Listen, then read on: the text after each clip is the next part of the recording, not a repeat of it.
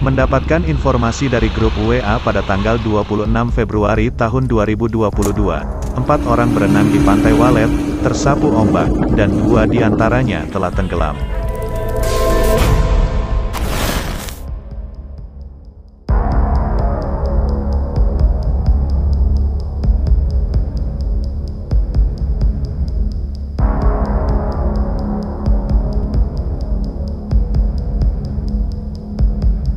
Asik berenang di Pantai Walet, Desa Tanjung Limau, Kecamatan Muara Badak, Kabupaten Kutai Kartanegara. Kukar, empat orang pemuda terhempas ombak hingga menjauh dari bibir pantai.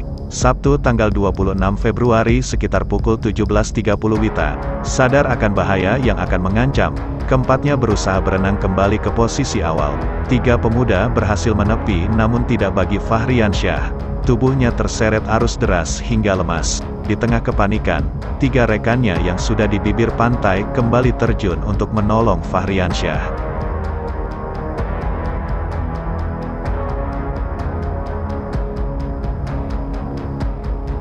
Tubuh Fahriansyah yang sudah lemas berhasil ditarik ke tepi pantai. Warga sekitar membawanya ke puskesmas terdekat. Nahas, nyawa pemuda warga Muara Badak, Kukar ini tak dapat tertolong, Fahriansyah dinyatakan telah meninggal dunia.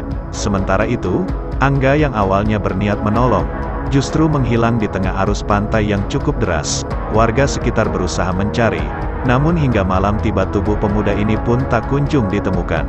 Untuk membantu proses pencarian korban, Melkianus Kota selaku Kepala Kantor Pencarian dan Pertolongan Kelas A Balikpapan, menerjunkan personel dari unit Siaga SAR Samarinda, Tim berangkat pada pukul 22.50 Wita.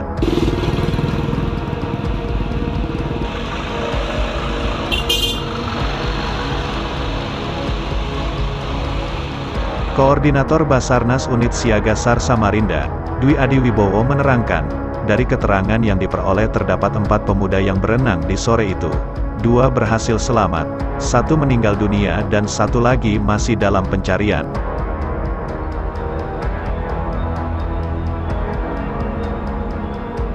Tim pencarian dibagi dua tim yaitu satu tim menggunakan rubber boat Basarnas untuk pencarian di sekitar korban hilang menyisir dejauh 3,5 nm arah selatan, dan satu tim lagi menggunakan speedboat Polair melakukan penyisiran dari lokasi korban hilang sejauh 3,5 nm ke arah utara.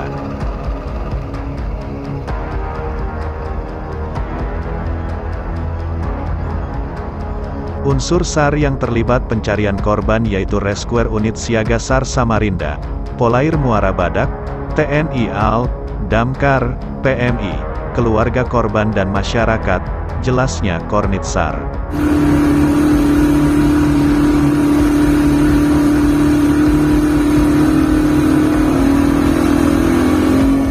Proses pencarian Angga membuahkan hasil. Sekitar pukul 9 Wita tim SAR gabungan menemukan Angga tak jauh dari lokasi dirinya dinyatakan hilang. Sayang, saat ditemukan Angga sudah meninggal dunia. Tubuhnya ditemukan mengambang di pantai. Jadi total yang meninggal dunia ada dua orang. Dan selamat dua orang, tegas Kornit.